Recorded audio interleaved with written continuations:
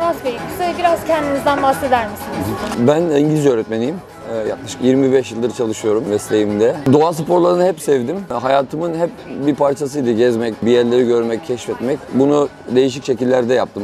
Bazen sırt çantasıyla, bazen bisikletle, bazen bir kanoyla, bazen uçarak, yamaç paraşütüyle. Ve e, şu anda da motosikletle yapıyorum. İki kızım var. Böyle yani. Yolculuğun hikayesi nasıl başladı? Seyahatinizin rotasından bize bahsedebilir misiniz? Ve neden bu rotayı seçtiniz?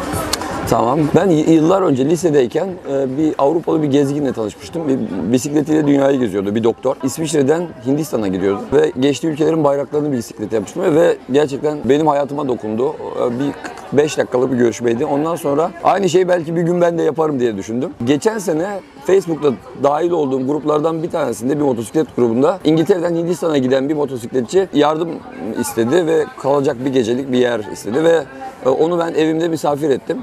Bütün gece sohbet ettik. Aynı şey yani 25-30 yıl sonra tekrar başıma geldi. Ee, Bu motorcuyu e, sabah uğurladıktan sonra o gün kafama koydum. Dedim ki evet artık zamanı geldi bir motor olup yola çıkmalıyım. Rotamı da Nepal olarak belirledim. Nepal, Türk ve Avrupalı ve birçok dünyanın etrafından e, başka motosikletli gezgin için çok klasik bir rota aslında. Avrupa'dan Nepal'e giden bir rota var. Bu e, İran, Pakistan, Hindistan ve Nepal'e ulaşıyor.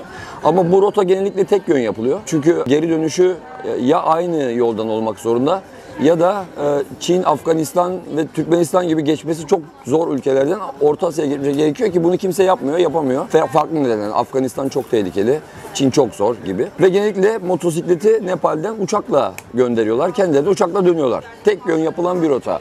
Bir rotada aslında Türkiye'den, Avrupa'dan başlayıp Türkiye'den geçen ve Orta Asya'ya giden Pamir rotası. Bu da Gürcistan, Rusya üzerinden devam eden ve Orta Asya Cumhuriyetlerinden geçen Tacikistan Pamir dağlarına kadar giden bir rota. Bunu da genelde e, Avrupalılar e, gidiş dönüş şeklinde yapıyor. Ben, benim rotam Nepal'e ulaşıp oradan geriye tekrar karayoluyla dönmek. Bunu yapmam için Afganistan'dan geçmem gerekiyordu. Ve hani e, zor, tehlikeli bir yolculuk olduğunu biliyordum. Daha önce geçen birileri var mı diye çok araştırdım. Çok onlardan bilgi almak için. Geçişle ilgili, ülkeyle ilgili, kültürle ilgili.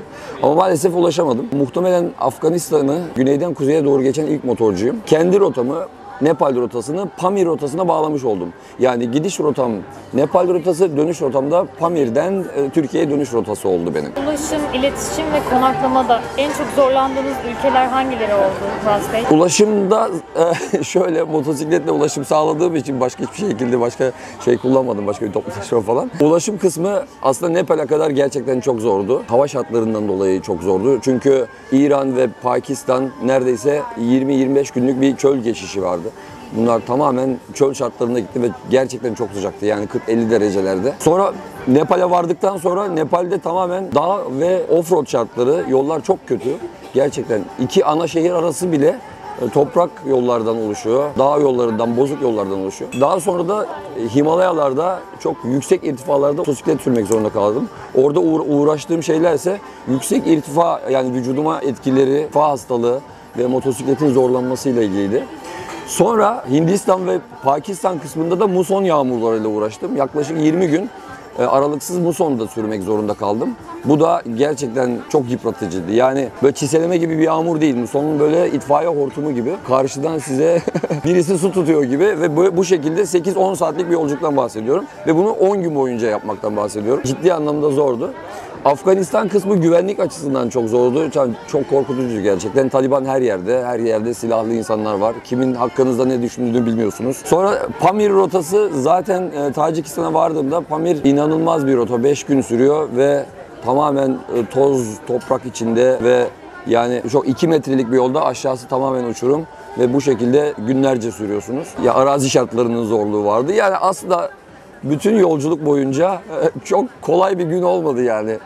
Hep zorluklarla Hep zorluklarla evet. Zaten bunu bilerek çıktım yani. Bu yolculuk böyleydi. Peki e, motorla seyahat etmenin avantajları, dezavantajları? Evet. Ben eski bir bisikletçi olarak daha önce de bisiklet turlarım var. Bunun çok keyifli olduğunu düşünürdüm her zaman ve gerçekten e, bisiklet sürmek çok keyiflidir. Uzun yol tur bisikletçiliği çok zordur ama çok keyiflidir.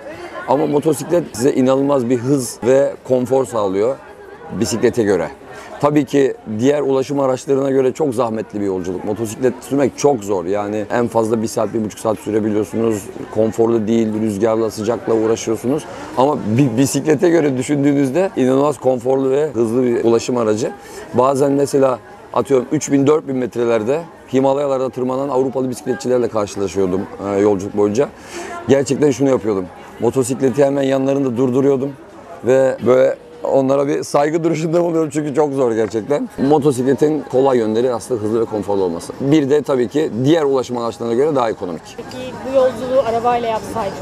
Benim arabayla da uzun yolculuklarım var. Avrupa'yı ailemle birlikte gezdim. Finlandiya'da kuzey ışıklarını görmek için Kuzey Kutup Dairesi'ne kadar arabayla kullandım. Ve araba sürmenin nasıl bir şey olduğunu biliyorum. Çok konforlu gerçekten. Ama bu rota arabayla tamamlaması neredeyse imkansız bir rota. Çünkü birçok, geçtiğim birçok yol arabayla ulaşım imkanı olmayan yollar. Ama çok off-road aracıyla deneyen ve zorlaya zorlaya bir kısmını yapan gezginler var tabii ki. Farklı yerler görmek, hayatınızda ve dünyaya farklı bir bakış açısı, açısıyla yaklaşmanıza yardımcı oldu. Ya tabii ki ben dünya üzerinde çok birçok başka yere de gittim. Birçok farklı geziler yaptım. Sibirya Ekspresi ile bütün Rusya'yı gezdim. Moğolistan'ın çöllerinden tutun bütün Çin'i sırt çantasıyla gezdim. Orta Asya'da çok uzun seyahatlerim oldu. Şimdi her böyle bunun gibi her geziden sonra eve bir başka insan olarak dönüyorsunuz aslında. Yani her e, yaşadığınız size şeyler katıyor. Hayata bakış açınızı değiştiriyor. Ve Afganistan'da bu gezimden bahsediyorum. Pakistan-Afganistan sınırından geçerken 6-7 yaşında çocukların sırtında sigaralarla gümrükteki kamyonların altından kaçak yollarla sınır geçtiğini ve askerlerden dayak yediğini, bazılarının kaza geçirerek öldüğünü görmedim ama duydum bunları da böyle şeylerin olduğunu görünce kendi çocuklarımın ve benim ne kadar şanslı olduğumu, hayatın aslında burada ne kadar daha kolay olduğunu test etmiş oldum. Gözlerimle görmüş oldum. Tabii ki biliyorum bunları ama yaşam e, her yerde çok kolay değil yani. Değişik coğrafyaları tanımanın en güzel ve en kötü yanları ne sizin için? Yerel insanlarla mesela iletişime geçtiniz mi? Hiç nasıl bir etkileşim kurdunuz? Bence kötü hiçbir yanı yok. Yeni yerler, yeni coğrafyalar görmenin çok güzel yanları var. İnanılmaz dostluklar edinebiliyorsunuz böyle bir yolculukta. Hiç aklınıza gelmeyen tecrübeler yaşıyorsunuz. Bu hani yemekten tutun e, konaklamaya kadar. Ve yerel insanlarla tanıştım tabii ki. Gittiğim her yerde. Bir kere motosikletle seyahat ederken en büyük avantaj motosikletle herhangi bir yerde durduğunuzda ve motosikletiniz de böyle bir tur motosiklet ise, uzun yoldan geldiğiniz belliyse, üstü çantalarla falan doluysa insanlar hemen gelip sizinle sohbet etmeye çalışıyorlar ve sizden bir şeyler öğrenmeye çalışıyorlar. Siz de onlardan öğreniyorsunuz. Çok fazla insan beni evine davet etti, yemek ısmarladı, içecek getirdiler. Hiç yani böyle hiç tanımadığım insanlar. Çoğuyla dost olduk, iletişim kurduk. Bazılarının evinde kaldım. Ee, Ve bazılarını e, ben kendi evimde misafir edeceğim belki önümüzdeki yıllarda, zamanlarda. Bu tabii ki size inanılmaz bir e, bakış açısı ve perspektif sağlıyor yani. Türk ve Müslüman olmak sizin bu seyahatinizde yardımcı oldu mu? Evet oldu. Şöyle diyebilirim. İran çok özellikle ilk girdiğim ülke buradan Türkiye'den sonra İran çok misafirperver bir ülke.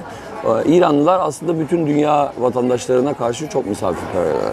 Ama e, Pakistan özellikle Türklere karşı motosikletle durduğumda dediğim gibi sohbet ettiğimizde ya da birileriyle görüştüğümüzde Müslüman ve Türk olduğumu duydukları anda her şey değişti.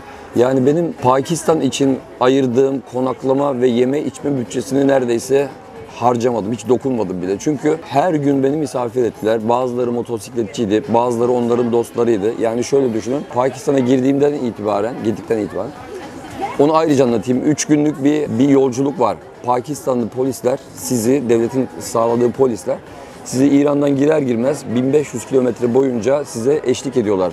Eskort ediyorlar. Önde bir araç, silahlı muhafızlar. Siz arkalarında motor sürüyorsunuz. Sizi güvenli bölgeye götürünceye kadar. Pencap eyaletine. Bu yaklaşık 3 gün sürüyor. Ve hiçbir yerde duramıyorsunuz. Hapishane gibi yerlerde polis karakollarında ancak kalabiliyorsunuz. O 3 günü tamamladıktan sonra diyorlar ki tamam sen artık güvenli bölgedesin. Kendi başına sürebilirsin. Oradan itibaren Pakistanlı motorculardan bir tanesi beni Facebook'tan takip eden dedi ki "E, şurada bir arkadaşım seni misafir edecek. Tanıştık. Tabii gitmeden önce kafamda bazı soru işaretleri. Kimle tanışacağım, nerede görüşeceğim, nasıl biri falan. Sağ olsunlar beni çok güzel orada misafir ettiler. Çok zor şartlarda, çok ekonomik durumu çok düşük bir bölgede çok iyi şartlarda beni misafir ettiler. Sonra oradaki sohbetten sonra bir gün sonra 350 kilometre yolum vardı. Sohbet sırasında dediler ki yarın o gideceğin yerde 350 kilometre, yarın akşam konaklayacağın yerde se- seni bizim bir arkadaşımız, bir doktor arkadaşımız ziyaret, e, misafir edecek. Ve bu bu şekilde bir hafta boyunca sürdü. Yani ben bir hep bir sonraki noktaya bir tanıdığa ulaştım ve dediğim gibi ne konaklama, yeme, içme hiçbir şeye para ödemedim. Biraz Pakistanlılar bize gönül borçları var gibi düşünüyorlar. Türk olduğunuzu düşündüğünde duyduklarında hemen ellerinin üstünde tutuyorlar. Tabii bir de Pakistan halkının %99'u eğitim seviyesi ne olursa olsun e, Türk dizileri izliyor. Bunun da muhtemelen etkisi var çünkü kültürü bayağı iyi öğrenmişler. Yeni planlarınız var mı? İlerleyen günlerde yine seyahatleriniz olacak mı? Bu rotalar nereler? Şimdiden belli mi? Evet, evet. Dediğim gibi ben, ben lisedeyken, lisede okurken o dönemler internet falan olmadığı dönemler yani 1980'lerin ortalarından bahsediyorum. Arkadaşlarım böyle işte lokallere falan giderlerdi kahve. Ben sırt çantamı alırdım. Yürürdüm işte. Kuşadası'nda yaşıyordum. Kuşadası'ndan Söke'ye yürüdüm orman içinden. Bu sefer bu, bu yoldan gittim. Bir dahaki sefer başka bir rotadan. Yani gezmek hep benim hayatımda vardı. Bundan sonra da olacak. Bir sonraki rotam muhtemelen iki alternatifim var. İlki Norveç'in kuzeyi. Dünya üzerinde karayoluyla gidebileceğiniz en kuzey nokta North Cap. Buraya gitmek istiyorum. Yaklaşık bir 15-16 bin kilometrelik bir yol bu gidiş dönüş olarak. Ondan sonraki hedefim ise Güney Amerika'yı baştan başa motosikletle geçmek. En güneyden en kuzeye. Bu da yaklaşık minimum bir 5-6 aylık sürecek bir yolculuk. Daha, bundan daha uzun bir yolculuk olacak. Uzun yolculuk planlayan, planlayan gezginlere ne gibi tavsiyeler önerirsiniz? Motosikletle bu yolculuğu tamamlayan Evet. e, biri olarak neler söylemek Evet çok güzel bir soru bu bence. Çünkü e, motosikletle bisiklet süren birçok insanın bir şekilde hayalinde oluyor bu tür bir yolculuk. Kısa ya da uzun, orta şey, seviyeli. Ama böyle bir yolculuk için en önemli şey e, planlama gerçekten. Ha dil bilmek falan filan demiyorum. O, onlar aşılabilecek şeyler. Ama ciddi anlamda hangi coğrafyalardan gideceğiniz, rotanızın ne olacağı, nerede kalacağınız, hangi ülkenin bürokratik koşulları ne, sınır geçişleri nasıl, para birimleri nedir, e, nerede kalabilirsiniz, hangi güçlükler sizi bekliyor. E, Buna hazır mısınız? Mental olarak hazır mısınız? Bunlar çok önemli. Çünkü bazen hani hayalle giriyorsunuz, böyle bir gazla bir yola çıkıyorsunuz ama eğer gerçekten mental olarak hazır değilseniz yarı yoldan dönme ihtimaliniz çok yüksek olabilir. Tabii ki e, hastalık, kaza durumları böyle bir yolculuğun gerçeği olabilir. Ki ben de yaşadım. Yani böyle bir yolculukta olabilecek şeyler. Ama iyi bir planlama olmazsa olmaz. Birçok insanın aklına bütçe geliyor. Tabii ki hani yük- yüksek bütçeli bir tur gibi gözükse de 3 ay ben dolaştım. Ee, harcadığım para 1950 dolar. Yani 2000 dolara bulmadı. Ee, Ha bu bir tatil değil tabii ki. E, bir tatil gideri olarak düşünürseniz büyük bir para ama bu sonuçta benim hayatıma yaptığım bir yatırım ve bir e, yaşam tecrübesi. Kendimle ilgili bir hayalin bedeli. Öyle düşünürseniz bu yüksek bir maliyet değil.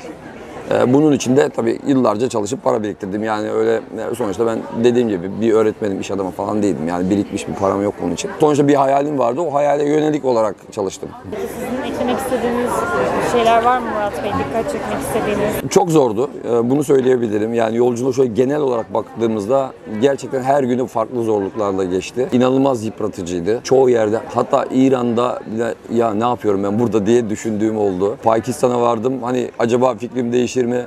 Dedim ya deli misin sen ne yapıyorsun burada dediğim zamanlar çok oldu ama hiçbir zaman geri dönmeyi düşünmedim. Yolculuğu tamamlayacaktım. Ona odaklanmıştım çünkü. Her anı çok zordu ama her anı muhteşemdi. Unutulmazdı. Ya, kendi hayatımla ilgili kendim için yaptığım en iyi şeylerden bir tanesiydi bence. Büyük bir cesaret aslında yaptığınız şimdi. Evet. Hep birileri aracılığıyla bir yerlerde konaklıyorsunuz ve tanımıyorsunuz. Evet. Hani o güveni nasıl oturttunuz? Yani Ee, şöyle, e, bu tabii ki şöyle bir durum. Bunu aslında biraz atladık. Bu bahsettiğim kısım Pakistan için geçerliydi. Hindistan'da asla böyle bir şey olmadı. Hindistan'a girdiğim anda bütün her şey değişti. İnsanlar değişti, coğrafya değişti. Hani kimse yüzünüze bakmıyor. Çünkü bir buçuk milyar insan var. Kim gelecek şeyce? Hani sizinle ilgilenecek. Öyle bir şey yok. Ee, Hindistan'da otellerde kaldım. Himalayalarda ve Pamir'de kamp kurdum. Afganistan'da gene otel, hostel gibi yerlerde konakladım. Geri dönüş yolunda Orta Asya'da o da hani e, kamp ve e, otel şeklinde karma bir konaklama şekli oldu. İnsanlarla kalırken genellikle gerçekten insanların dünyadaki insanların büyük çoğunluğu iyi. Biz sadece kötüleri görüyoruz ve onlar bizi korkutuyor. Ama yaşadığım, tanıştığım herkes çok çok iyiydi gerçekten. E, Siz de güler yüzlü olduğunuzda, insanların kültürüne saygı duyduğunuzda e, siz de galiba iyi insanlarla tanışıyorsunuz. Yani hep şöyle diyorlar işte Afganistan'a gidersen ölürsün keserler öyle değil. Yani öyle gezginler de var ben e, gitmeden önce gördüğüm. E, yani mesela şortla gezmeyeceksin Afganistan'da. O kültüre öyle giremezsin. Yani insanların izinsiz fotoğrafını çekemezsin. Böyle bir şey yok yani. Bunu yaparsan başın belaya girer somurtkan biriysen insanlar da sana somurtur. Yani bu biraz da hani seyahat tecrübesiyle ilgili. Ben genellikle e, gülümsedim, insanlar da bana gülümsedi yani. Halı sahaya bile giderken zar zor eşimizden bazen izin alıyoruz. Murat Bey siz nasıl oldu da bu yolculuk için? Evet bu bu bu en çok merak edilen şeylerden bir tanesi. Şimdi böyle bir yolculuğa çıkarken tabii ki yani izin demeyelim de karşılıklı anlayışın olması gerekiyor. Ben eşimle evlendiğimizden beri biz 25 yıldır 24 yıldır evliyiz. Hani gezmek tozmak hep ikimizin de hayatının bir parçasıydı.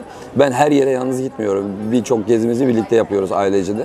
Ama tabii ki eşimin anlayışı ve böyle bir e, yolculuğa beraber çıkamayız ya da çocuklarla çıkamayız. Ama böyle de bir hayalim var. Bunu da gerçekleştirmek istiyorum. Onun hoşgörüsü olmadan böyle bir e, yolculuk zaten imkansız olurdu. Bazı ülkelere vize almak zorunda al- kaldım. Afganistan gibi, Hindistan gibi, Nepal gibi. Ama ilk vizeyi evden aldım tabii ki. E, O vizeden sonra her şey daha kolay oldu. Diğerleri sadece bürokratik engeller. E, Eşime buradan teşekkür ediyorum e, bana sağladığı anlayıştan dolayı. Tabii bir aile babası olmak da işin başka bir boyutu. Hindistan'da, Nepal'de e, bir 5000 metrenin üzerinde çok büyük bir çölde en yakın yerleşim yerinin 8 saat uzakta olduğu bir çölde hastalandım mesela ve orada hastanede kaldım. Serum yedim. Birkaç gün hastanede e, toparlamam gerekti. Yükseklik irtifa hastalığına bağlı olarak dehidre oldum. Şimdi onları tabii ki ailemle paylaşamadım o dönemde. Tabii Instagram'dan, sosyal medyadan bir sürü paylaşımlar oldu ama mesela onu paylaşamadım. E, Evdekileri endişelendirmemek adına ama da- daha sonra tabii ki e, haberleştik. Neyse ki toparladım. Dediğim gibi yolculuğun parçası yani bir parçası.